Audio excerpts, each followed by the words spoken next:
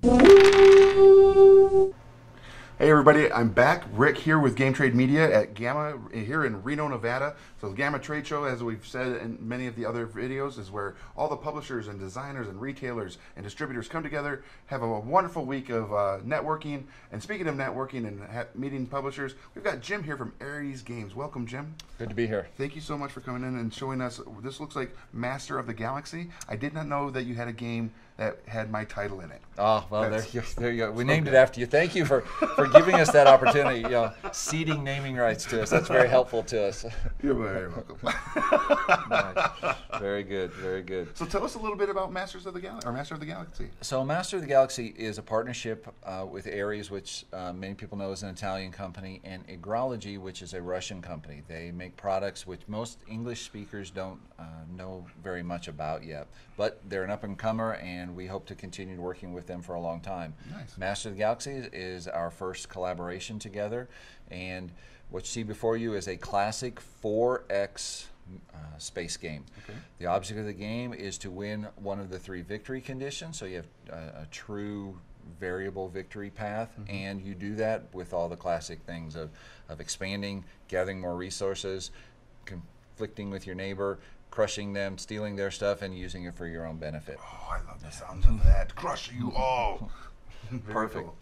So it looks like uh, you got some uh, some bags here, Yep. which are beautiful, and they have different symbols. Are, are these faction bags or player? They're individual- player bags. So Okay. what? Um, Master of the Galaxy is really a resource placement game, if that Okay. makes sense. I, I'm not really familiar with any other games that really do this quite the way um, this game does.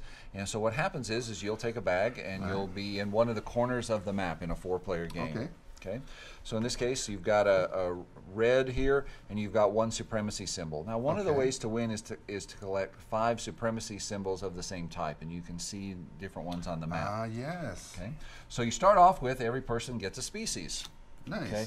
Oh, good. We drew rocks. That's an easy one to pronounce. Some of them are, are not so easy to pronounce, Okay. but they're very thematic in terms of science fiction. Nice. Each race has things that they do good and things that they do not so good. There's a couple of pieces here. One is to being able to draw cards, build space stations, and to actually have fulfill your agenda. Okay. On your turn, what's going to happen is you start the game with a certain number of cubes, and right now we have the pl- some of the playtest cubes, Okay. placeholders. Uh, these are actually finished components, but what you're seeing right now is sort of a mixture of final, semifinal, and and placeholder. Okay. Makes sense. All right. Right. So what happens is on your turn, you turn out, you, you draw cards. Or, I'm sorry, you draw resource tokens out of the bag. Okay. And you place them on the card. So in this case right here, if I wanted to start building, I, I drew three yellow. I start building my space station. Nice. If I draw a tile or a, a token that I can't use, I put it back in the bag. Okay. Okay. Now, over the course of time, what's going to happen is I can develop a hand of cards. So as I complete things, as I move forward, mm-hmm. I can do different things. I'm actually going to, to get different cards. So I can get expansion cards. I can get commerce cards. We can progress. Under certain conditions, I can get a leader. Nice. So as time goes on, I will get more and more cards, which will let me do more and more things. Again, I put the different tokens on the cards. Once a track is completely filled up, for example, then I'm able to actually do that thing. So in this case, I've been building a space station. Right. Once I get all four built up, I can actually take that space station, put it on the card. I don't have to use it right away, Right. and I take these back and put them in my bags. Nice.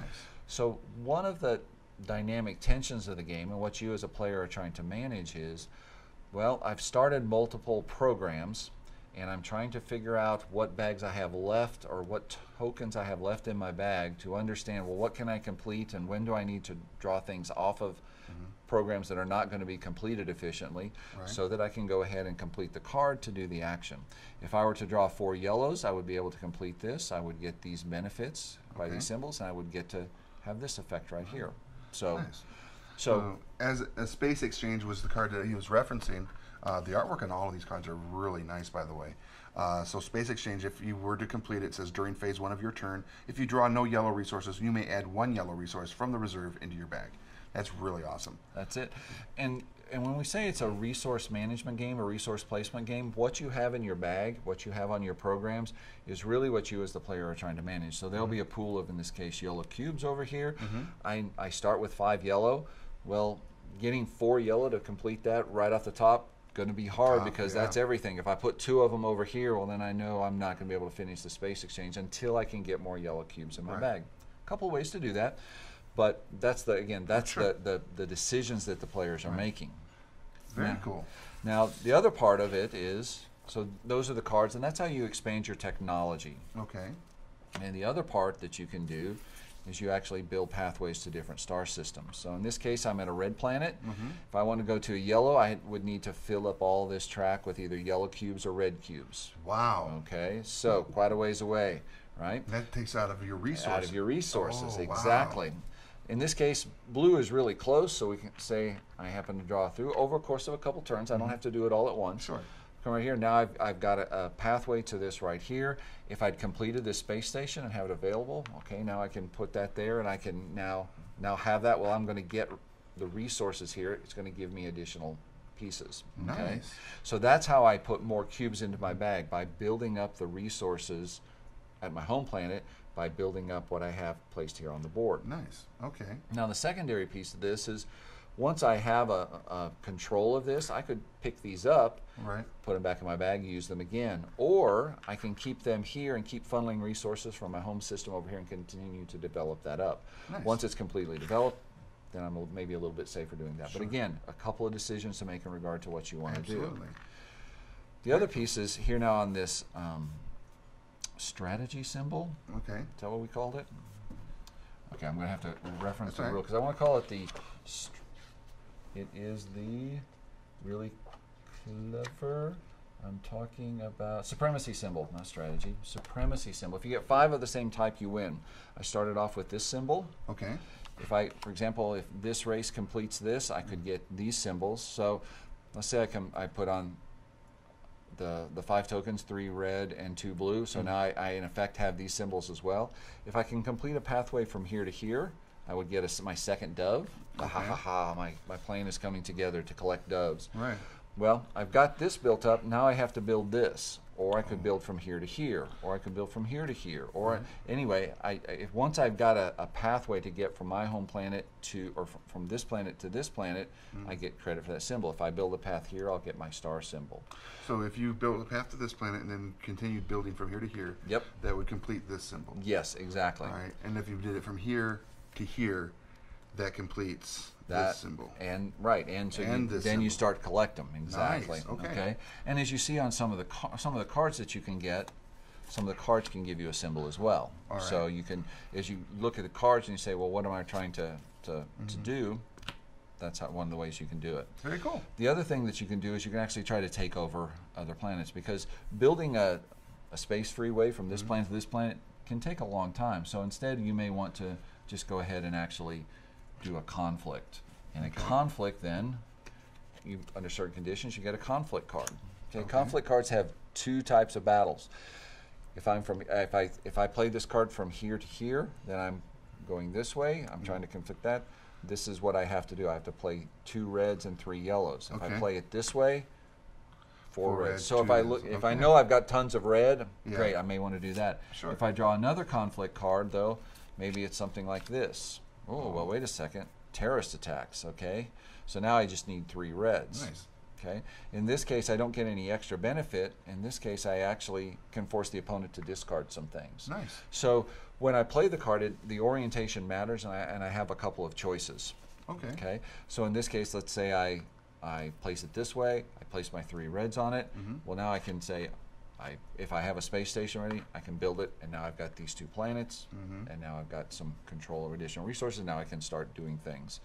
This goes off, gets discarded, and now I'm, I'm continuing my galactic empire. Very If. I can go from here to here to here, and get all the way over to this planet right here, if I can take one of my two neighbors and take their home planet, that's a, a way that I can win Wow. victory condition. Difficult but doable. Sure. That, so that that's three. You said three. Three things. Win conditions. Okay. Get five of the a symbol. Five of the supremacy symbols. Take it, or you can expand your technology and you can do a, a technology victory. Okay. Cool. right. Very nice. Well, thank you so much. So when is this going to be available? Um, this is a summer release. Uh, like many European companies, they're driving for Essen, and it, you can see we're very, very close on a couple of the components. Mm-hmm. Right. So we continue to move forward. We uh, we call it a high summer release. Means it's the height of summer. It will release. Okay. But that's a very variable.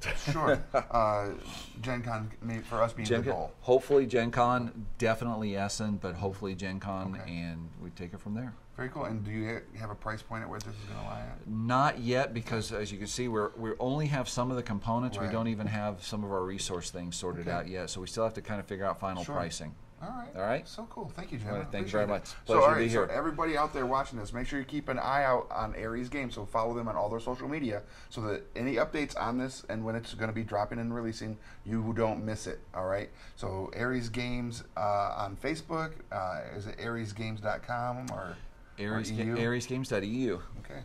All. AresGames.eu. There you have it, everybody. This is uh, Rick and Game Trade Media. We've been here all week. We have a few more interviews to do today, but until then, go to your local game store. You have about two hours before I come back on here, so you have just enough time to go to the local game store and uh, get a game in and come right back. All right, so I'll see you then, and have a good afternoon. Thanks for watching Board Games and Beyond. If you liked it, leave a like and a comment below and make sure to subscribe so you don't miss any new content.